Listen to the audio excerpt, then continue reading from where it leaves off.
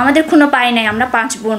মেয়ে বলে ওরা, ওনারা মনে করতেছে কি যে কোনোভাবে জোর করে আমাদের জায়গাগুলো দখল করে নিতে পারবে ধমকায়। খুরুশকুল ইউনিয়নের গাজের ঢেলে প্রবাসের জমি দখল চেষ্টার অভিযোগ উঠেছে। ভুক্তভোগী পরিবার জানান, নিজেদের ক্রয়কৃত জমিতে দীর্ঘদিন ধরে দখলে আছেন তারা।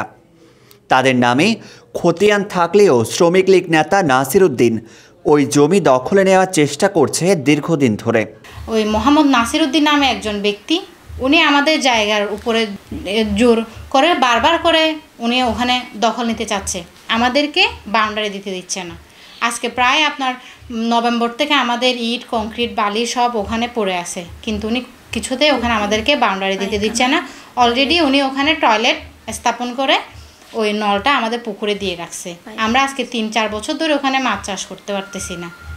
এছাড়াও এরপরে হচ্ছে আমাদের ধানে জবিন। এখন উনি রিসেন্টলি ওই ধানি জবিনের উপরও কি করতেছে? হামলা করতেছে।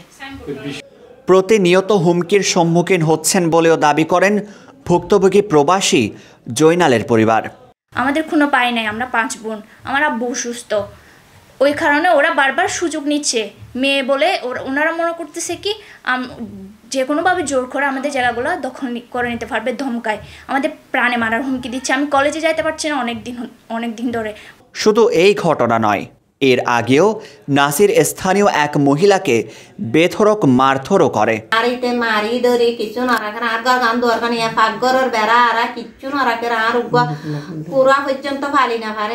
এই ঘটনার বিষয়ে জানতে স্থানীয় ইউনিয়ন পরিষদের চেয়ারম্যান শাহজাহান সিদ্দিকীর সাথে মোটোফোনে যোগাযোগ করা হলে তিনি জানান এই ঘটনায় একবার সালিশি বৈঠক করলেও কোনো পক্ষ তা মানেননি। এটা মূলত এ, এদের দুইজনের দুই পক্ষেরই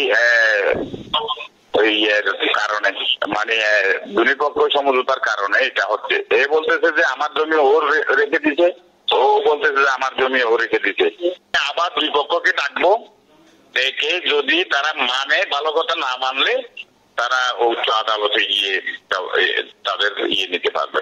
এদিকে অভিযুক্ত খুরুশকুল ইউনিয়ন শ্রমিক লীগের সভাপতি নাসির উদ্দিনের সাথে যোগাযোগ করা হলে তিনি সালিশিতে বসার কথা জানান। দলিল এবং খতিয়ান সবকিছু আপনারা নিয়ে বসেন। যদি আমি না পাই তাহলে আমি চলে যাব। News desk TTN Cox's Bazar.